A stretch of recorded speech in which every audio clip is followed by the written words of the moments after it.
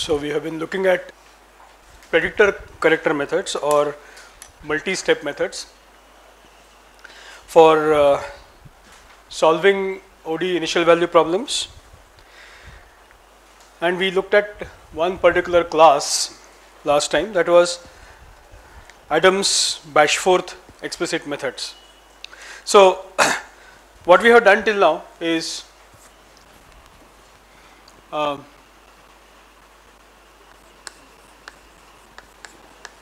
multi-step methods.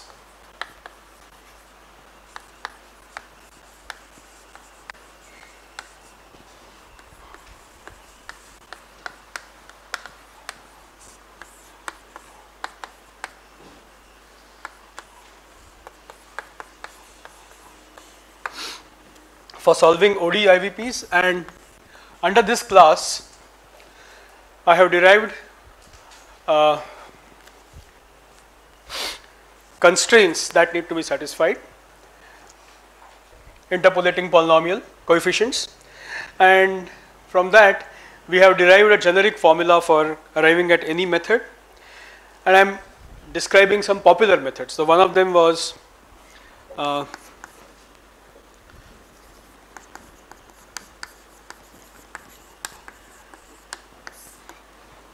so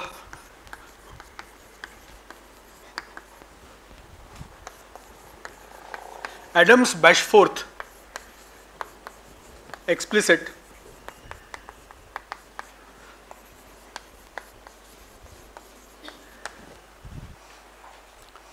Adams Bashforth explicit methods.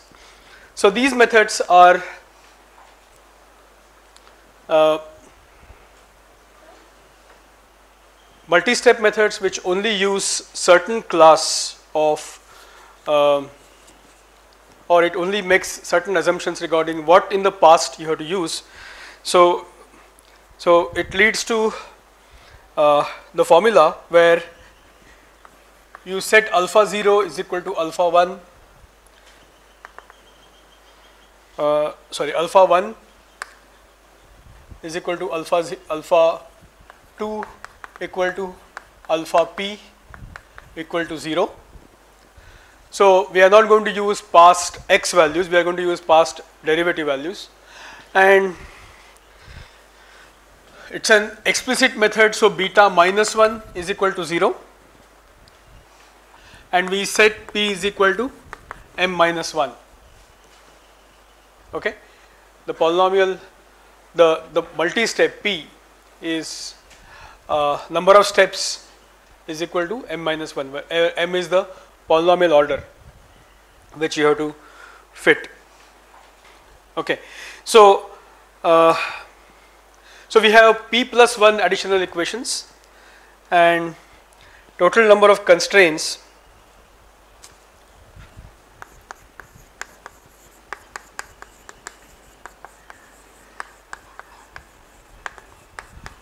this is equal to total number of unknowns and this turns out to be 2m plus 1 where m is the polynomial order. Okay? This turns out to be 2m plus 1 where m is the polynomial order. So this is an explicit method using this first constraint that is alpha i is equal to 0 to p alpha i is equal to 1 together with the assumptions that we are not going to use past x this implies that alpha 0 is equal to 1 okay? And the remaining coefficients can be found out by setting up the constraints. So i'm just writing the final form here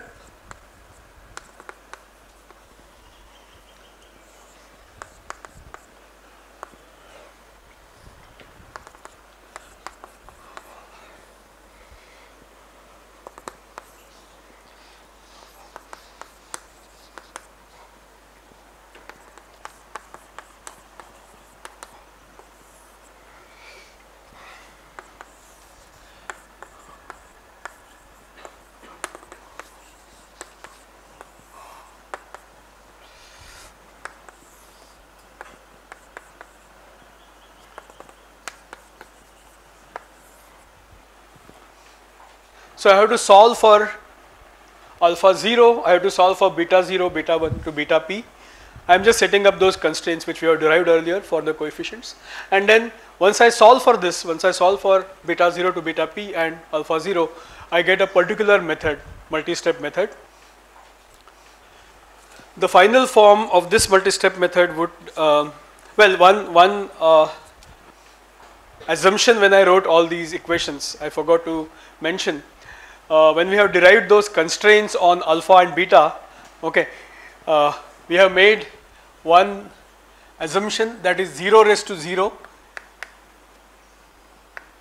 is equal to 1. You get one term in that in those constraints 0 raised to 0. It's assumed that 0 raised to 0 is 1 for the sake of writing those constraints. So whenever uh, I, I, don't want to say anything about whether 0 raised to 0 is truly equal to 1 for this these constraints. Whenever 0 raised to 0 comes substitute by 1 okay? That's what makes it easy to write these constraints. Okay? Uh, don't assume that this is this equality is this is only for these constraints which we have written here. Okay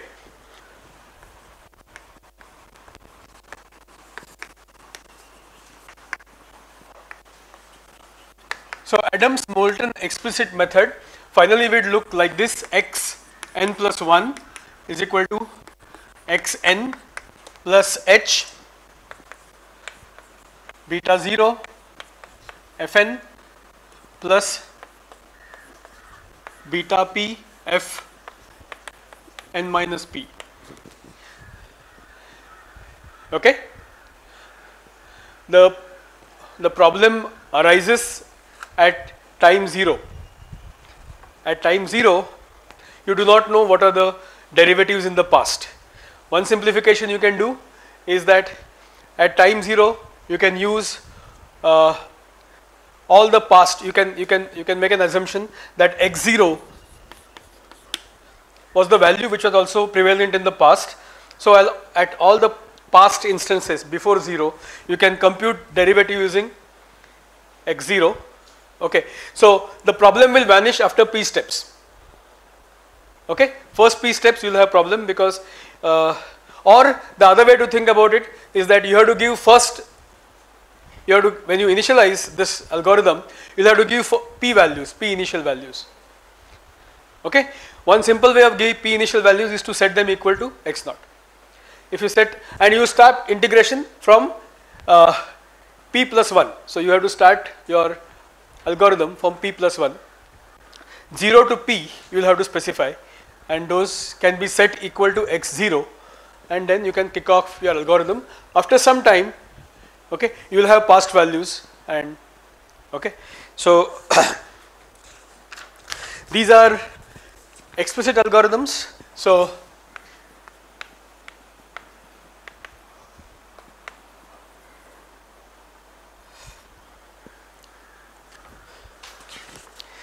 Okay, just just uh, a correction.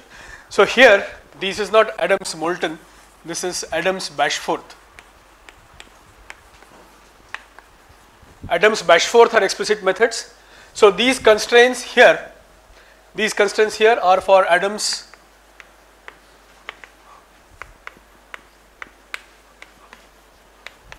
Bashforth and Adams Moulton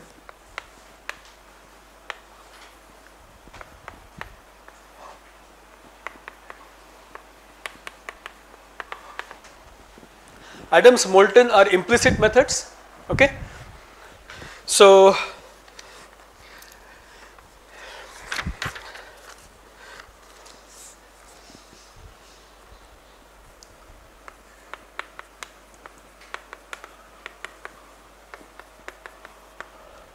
So these constraints are same. We are not going to use past x values. Okay, we are going to use past derivative values. Okay. Uh,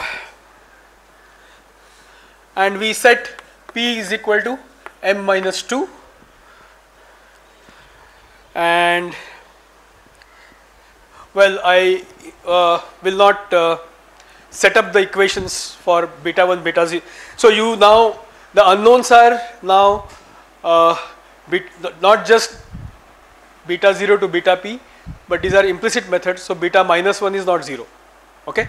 So the unknowns, well the first equation will give you alpha 0 is equal to 1, okay, and you have to set up equations, remaining e- equations for beta minus 1, beta 0, beta p.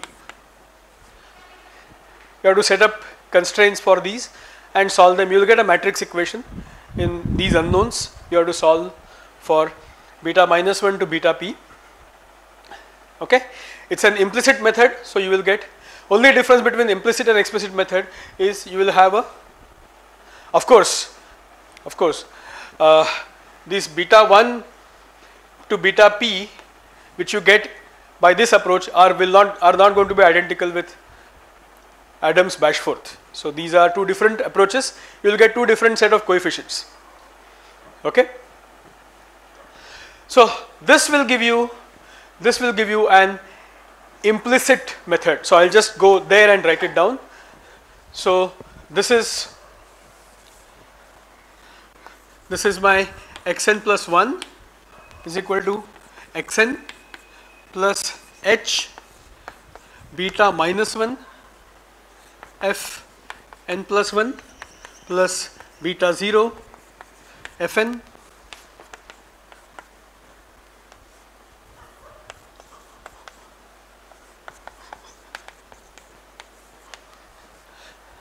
Well, just because you are using the same notation alpha beta or beta here doesn't mean these two will give you same. This is this is Adams Moulton.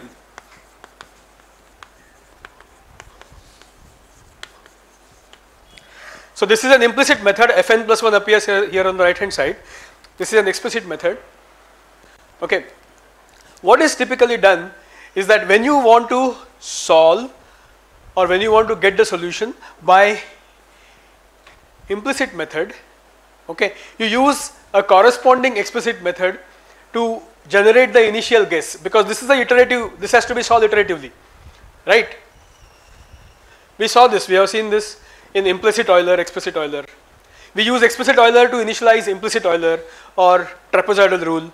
So likewise, in this particular case, okay, we are going to use this to give an initial guess, good initial guess for this. Okay, so now this is done in two ways. Okay, one way is to do iteratively. Okay, and the other approach, one way is to do it iteratively, the other approach is non iterative. So, which means uh, you do a prediction and then you do a correction. Okay, so I'll just describe this prediction correction first.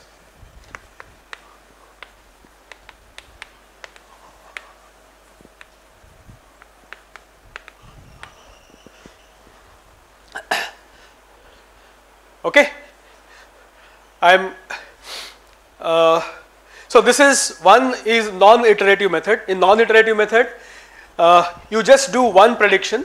So my prediction is going to be x tilde n plus 1 is equal to xn plus h beta 0 fn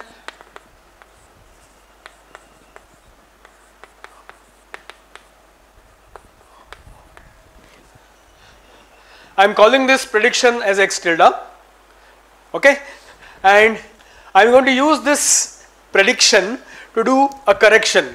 Now my correction is x n plus 1 is equal to xn plus h beta minus 1 f x tilde n plus 1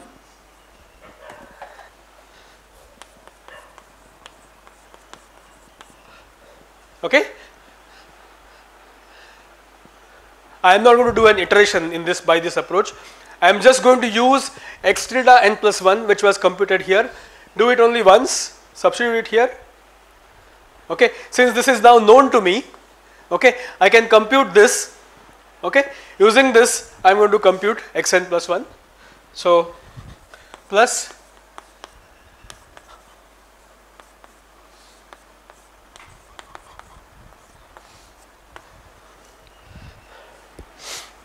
Okay? So if you do it this way only once, it's non-iterative. Okay? This step is called as prediction step. Okay? This is called as correction step.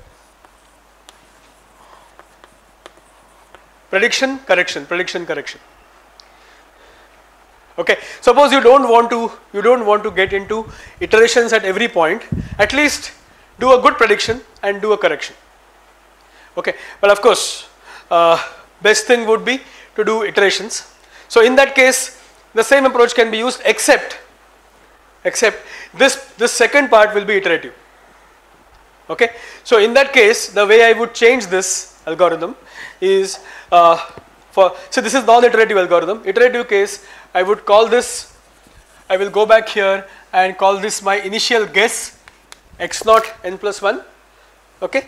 And then I will change this to xk n plus 1 and this side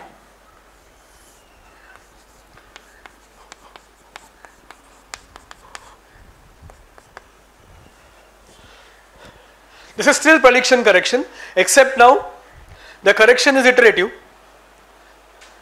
okay? And only first time this prediction is used as the initial guess. Next time this itself will feed it feed to itself and then you wait for the convergence to occur. Okay? And uh, then we of course look at this x k plus 1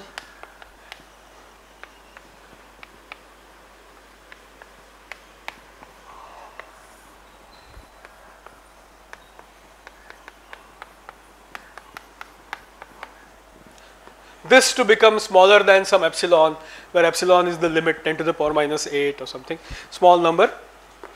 So when you do prediction correction iteratively you use this only once the prediction only once and then you keep doing iterative calculations till you get convergence. If you just want to stop with prediction correction okay that is also good enough many times and uh, you typically use same order algorithms for uh, initializing. So Adams Bashforth and Adams Moulton can be used together in this prediction correction form. Okay. There is one more class of algorithms. Now as I told you that Adams algorithms which use past derivative values okay uh, what you should do of course when you write a program okay you should memorize past derivative values you can store them in some array okay? Or multi-dimensional array. And then you, sh you should not compute it every time. Okay? You should store it in the array and update the array every time you move in time. Okay? You have to remember past p values. Okay? When the new value comes the new derivative gets in old derivative goes out. You can create a matrix kind of a structure and uh, you can write an efficient algorithm for uh, doing these calculations Okay. Well, what happens when you go to multi-dimensional case where you have vector differential equation? We use exactly same approach. We use the same coefficients which are derived using scalar case and just instead of f which is scalar here we will substitute by f which is vector. Nothing is going to change. There are no separate derivations for the multi-dimensional case. Okay, multi-dimensional case we just use the coefficients that you derive for the scalar case. Okay, f here will be a function vector, x here will be a vector, xn plus 1 will be a vector and so on. So that is the only difference which comes when it comes to uh, multidimensional methods. Now another class of methods like Adams method, another class of methods which are very very popular are Gear's method.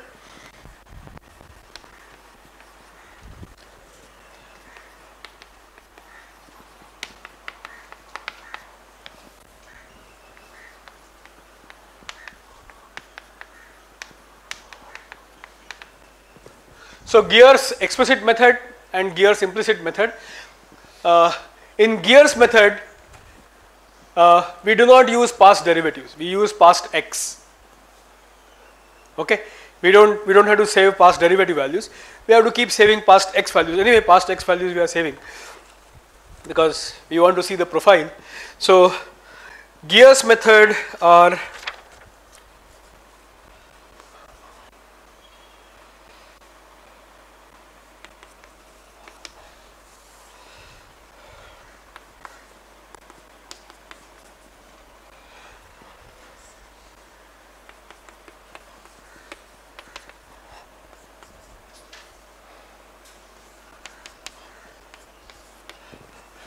In Gear's explicit method, we put the constraints that beta minus 1, beta 1 up to beta p are equal to 0. We of course do not set beta 0 equal to 0. Okay. So, this, this method would look something like this that is x n plus 1 is equal to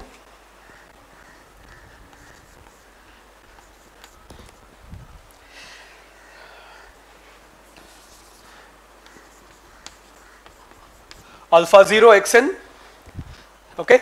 Plus alpha 1 x n minus 1 up to alpha p x n minus p plus beta 0 fn only one derivative value the current derivative value at, at initial point okay? And then we use xn xn minus 1 xn minus 2 xn minus p past p x values okay? But this is an explicit method. So only fn. Uh, yeah h correct. Yeah. H times yeah you're right. H times beta 0 fn okay? Um, as you can guess now Gear's implicit would be Gear's implicit would be beta 0 is equal to beta 1 is equal to beta p equal to 0. So, these are the constraints, these are the constraints. What is not 0 here is uh,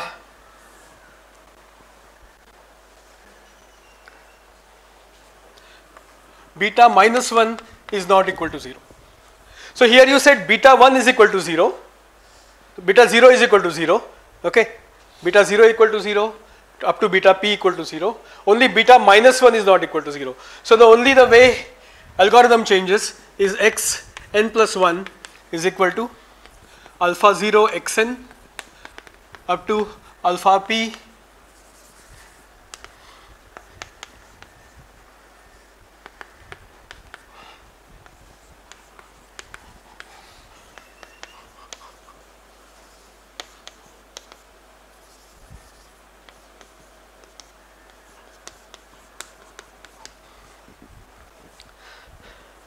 okay. So instead of h beta 0 fn which appears here okay you will get h beta minus 1 fn plus 1. This is an implicit method explicit method they can be tied up again if you want to implement Gear's method okay in a non-iterative way you generate x tilde n plus 1 using Gear's explicit use it here and do the correction. So prediction correction, non-iterative. Iterative prediction correction is you initialize your algorithm using this and then solve this iteratively till you get convergence. Okay? And just to emphasize any of these algorithms, for any of these algorithms if I am solving for dx by dt is equal to f of xt where x belongs to Rn and then we are starting from xtn is equal to xn. Okay?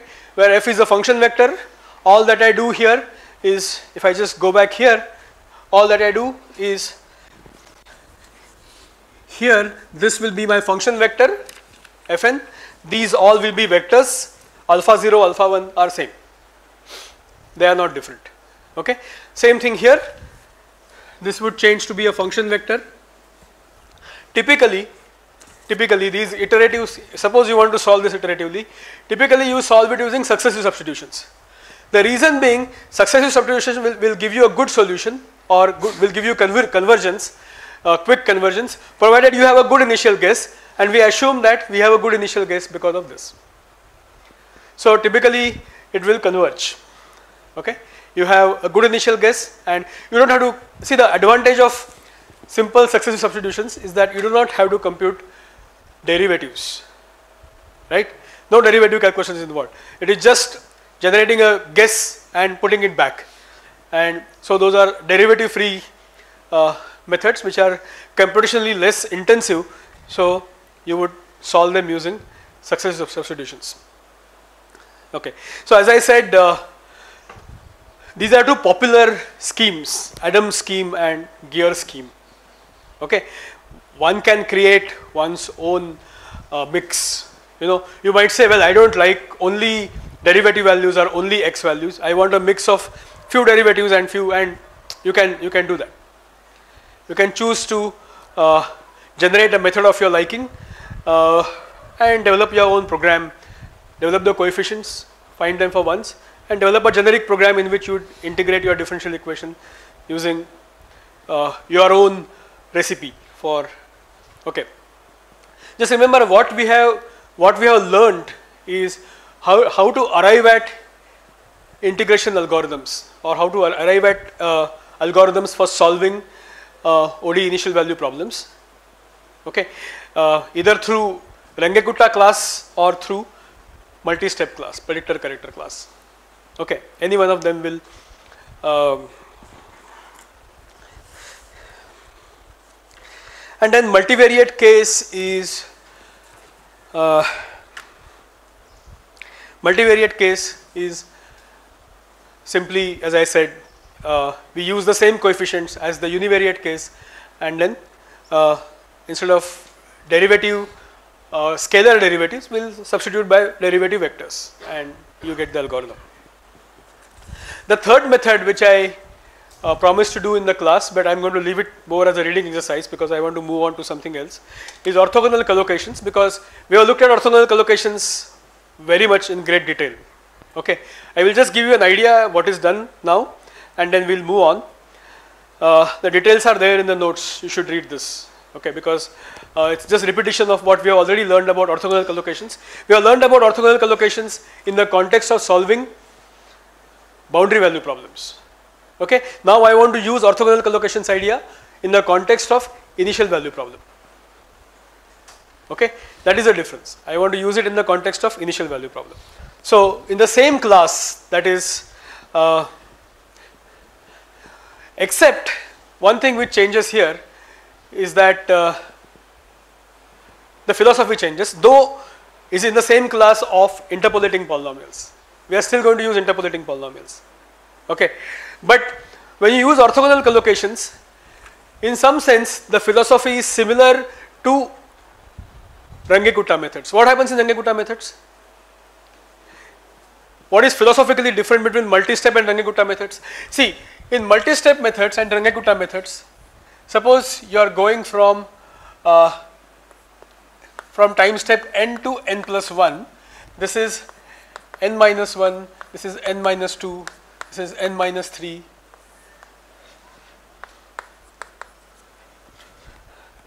In multi-step methods, we used x n minus 1, x n minus 2, x n minus 3 derivative values at these points in the past. See this is my this is my current time, this is future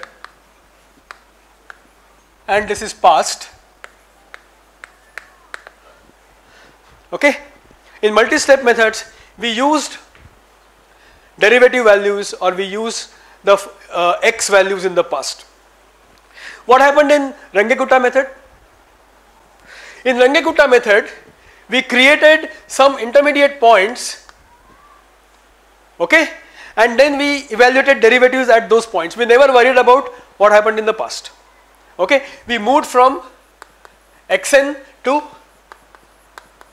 xn plus 1 by doing some intermediate calculations, okay, and what happened in the past is all contained in xn, we did not bother about uh, using it again, okay. What happens in orthogonal collocations is somewhat similar to what happens in Runge-Kutta. In orthogonal collocations, we are going to still use polynomial interpolation. The idea of polynomial interpolation remains there because it's orthogonal collocations. Okay, except I'm not going to use past now. I'm just going to use from here to here. Okay, so what I'm going to do now is this section, okay, this section I'm just blowing it up. This is my time n or this is my time tn or integration instant n and this is n plus 1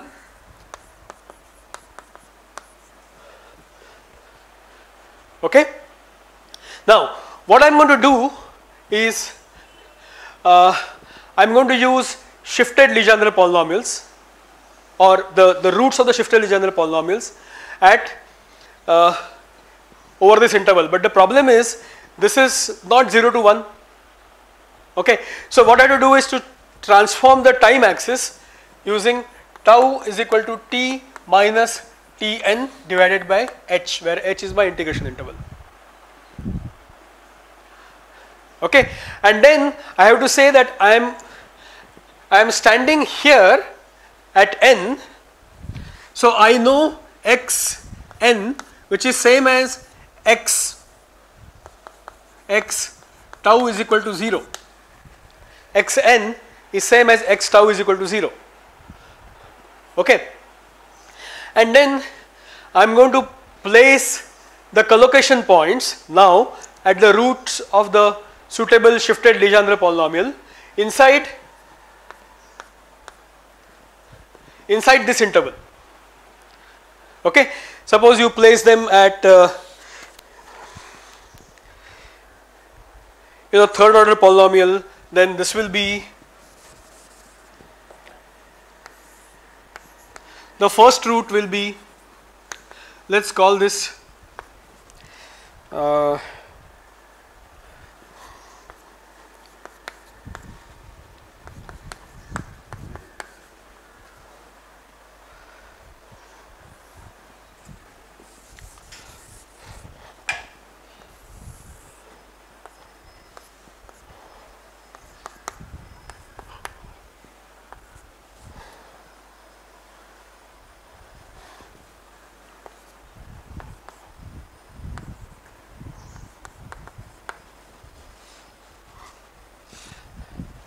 okay? I am going to place roots at tau 1 which is equal to 0 okay?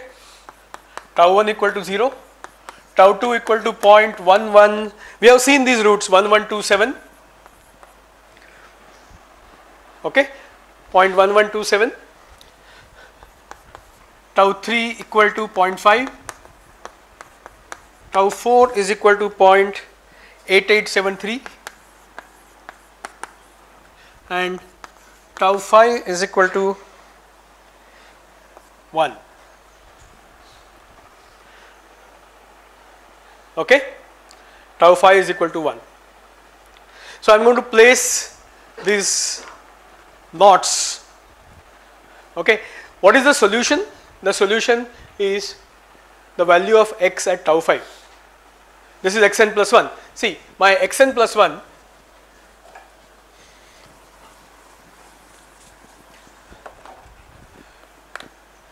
where tau is equal to 1 that is equal to tau 5 t is equal to tn plus h which is equal to tn plus 1 okay? So once i reach once i reach tau 5 okay i get the solution. Okay?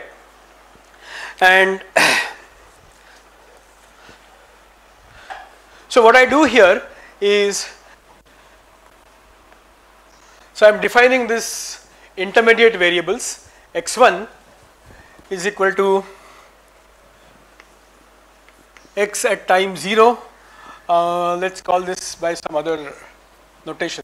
Say z1 is equal to x at time 0 which is same as or x at tau equal to 0 which is same as xn. Right? Initial point. Okay then uh, and I am going to call z2 this is x at tau equal to tau 2 z3 is x at tau equal to tau 3 and so on. Okay? My aim is to find out z5 which is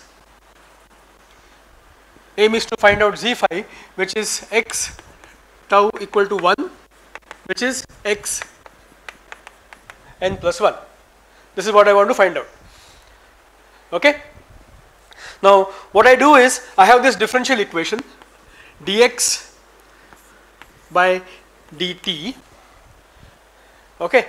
dx by dt is equal to f of x t okay? F of x t. How will you transform this?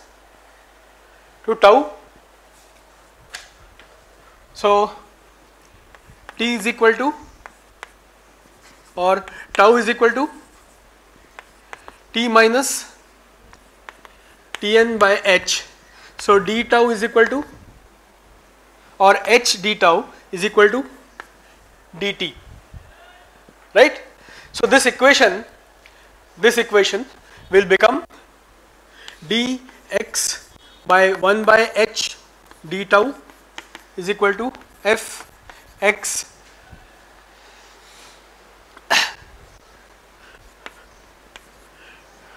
tau h plus Tn right? Tau h plus Tn okay? And this is my h. I am just going to multiply this h on the right hand side so I'll just say dx by dt is equal to h times this. Now how do you how do you use orthogonal collocations? Yeah this dx by dt you have to convert. Okay dx by dt you have to convert using this S and T matrices. Okay and then uh, instead of instead of working with uh, sorry one one mistake I made here. This should be dx by d tau this should be dx by d tau. And then instead of working with x we could work with z. Okay? So I could work with new notation z. Okay? Then all that I need to do is to set up these equations. That is SI transpose Z is equal to H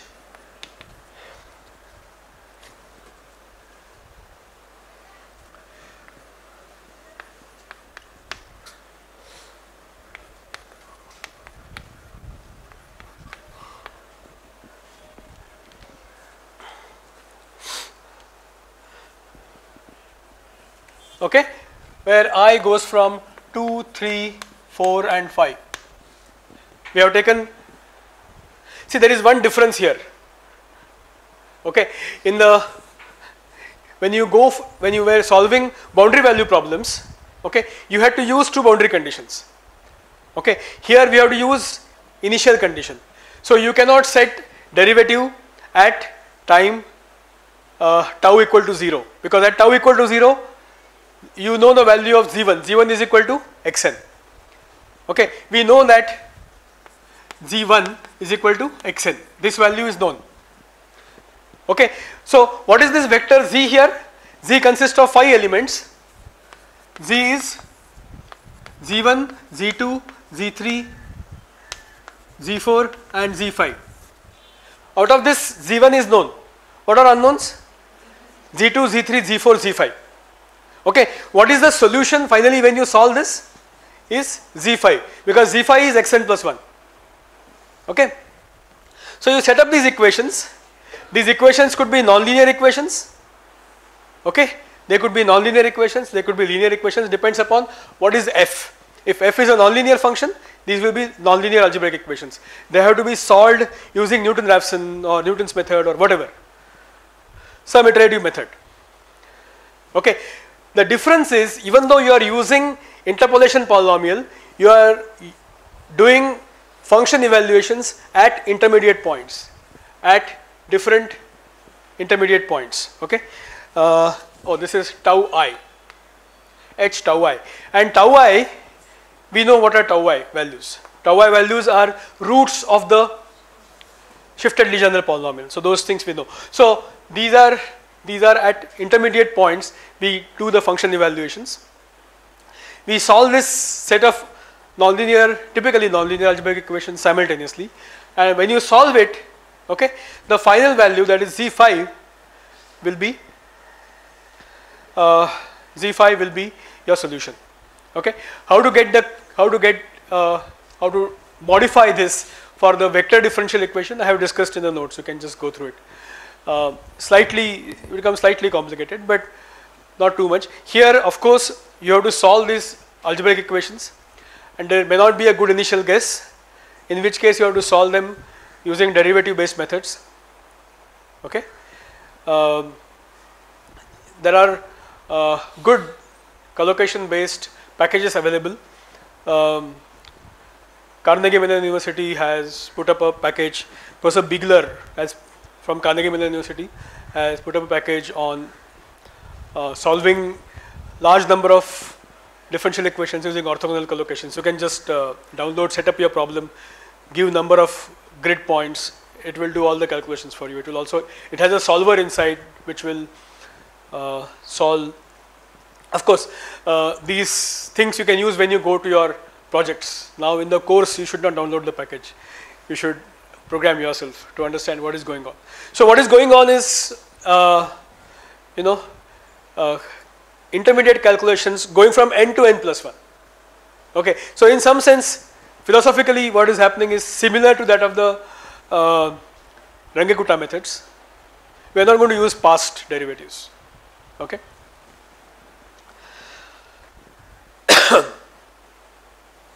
now um, so with this with this method Okay, we have a wide variety of approaches for solving uh, ODE IVP. Which one do you use? Okay, so there are hundreds of methods now, not just one.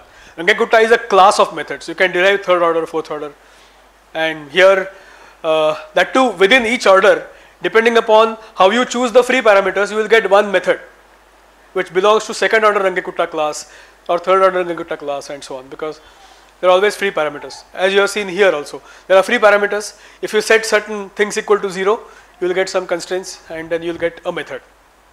So there are so many of methods many, many methods.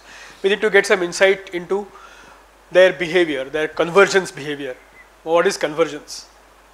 First of all uh, I need to know if uh, in certain situation I know the true solution okay and then I construct an approximate solution using one of these methods. How close is the approximation to the truth? That is one fundamental question. Okay, and related to this question is how do I choose okay interval of integration? How do I choose my interval of integration? H is the most difficult part in solving ODE IVP. Okay, so we'll get some insights into this in next one or two lectures as to how to exactly go about choosing selecting H. Okay.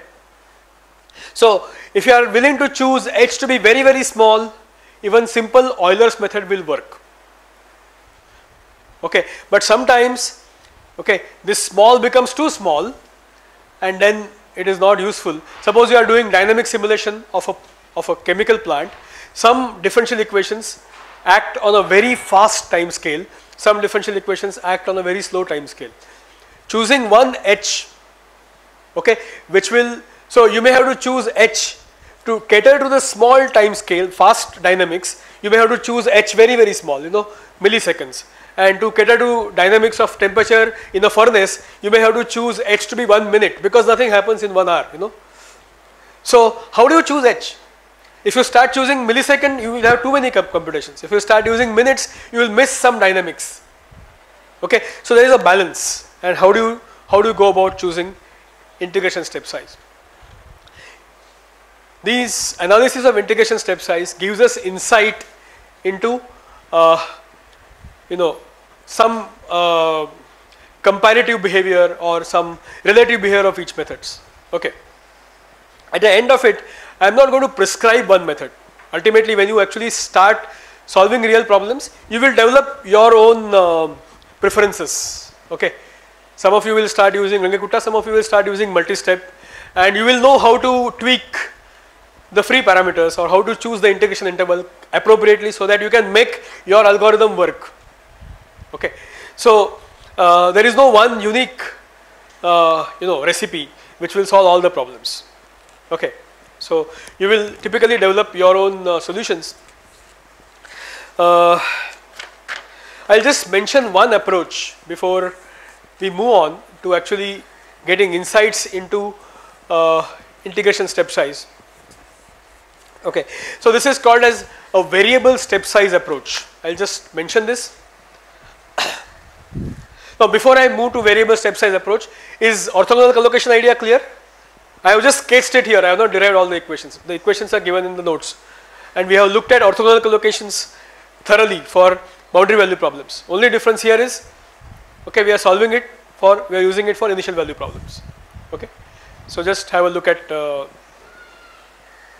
Okay, so uh, let's look at this variable step size implementation.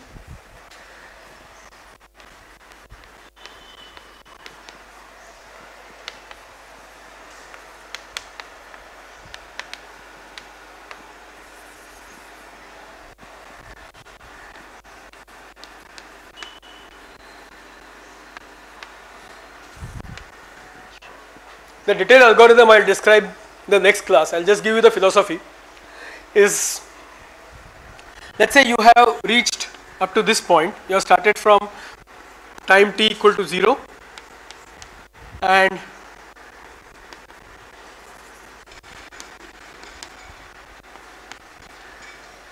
you are at point tn and of course you have xn with you. And then you want to move and make the new step okay you want to make a new step. Variable step size implementation idea is possible only with Runge-Kutta class of methods, okay, not possible or only with uh, the methods in which you are marching ahead in time, you are not going to use past information, okay. Multi-step methods, variable step size doesn't, uh, doesn't work or it will need a lot of work to make it work in variable step size. Here uh, in Runge-Kutta methods, you are just marching from Tn to Tn plus 1. Okay. So the philosophy is very simple. Now what the question is, I am not going to fix h. Okay. I want to move from Tn to Tn plus h. What should be h? Okay. What should be h? What I do is a simple idea. Okay. I choose some h some guess edge. Okay. And then I make one move from here to here. Okay. I make one move from here to here assuming that step size is h then what I do is I assume that step is not h but step is h by 2 okay. So I make two moves from here to Tn plus h by 2 okay and then from here to here. So this is this is this is h by 2 and this is h okay. Now if the solution I obtain by making two steps and by making one step is not too different then I accept that h Okay? You get what I am saying? See what I am going to do is in variable step size implementation, I don't know what is the step size to choose. Is it 1 minute? Okay? Or is it 10 seconds? Okay. Let us say I start with a guess of 1 minute. Okay. So I, I make integration from Tn to Tn plus 1 minute. Okay. Then I go from Tn to Tn plus half minute, Tn plus half minute to Tn plus 1 minute. I go to the end point once in two steps and once in single step. Okay. Then I compare the result. If the result is too different, okay, then I say, well, I don't accept this initial 1 minute. I'll reduce it to I'll reduce my step size to Tn plus h by 2. Okay, now what I'll do is I'll go in one shot here to here, okay, and I'll go hopping twice. Okay, compare the results. If these two results are similar, I accept it. If not, you know, I shrink this further. Okay, so I take some initial step size, I go there in two steps, I go there in one step. If the two solutions are very very close, I accept that solution. The two solutions are too different, I shrink the step. Okay, I reduce the step. So I might start with one minute as my step size and I might reduce it to half minute, okay, to quarter minute, to one eighth of a minute till I get this, you know, two solutions matching. One step solution should match with the two step solution. Okay. So this way, if you implement Runge-Kutta method, you have a very robust method. You don't have to worry about how to select the step size. It will keep doing a lot of calculations. It will keep doing a lot of calculations, but those calculations will help you to give a robust algorithm which will not fail. Okay, we'll describe this algorithm in detail next class, and we'll also get insight into what really matters. Okay, well, unfortunately or fortunately, again, what will reappear is eigenvalues. Okay, and they will again help us to find our way out. Okay, so let's look at uh, the convergence aspect in the next class.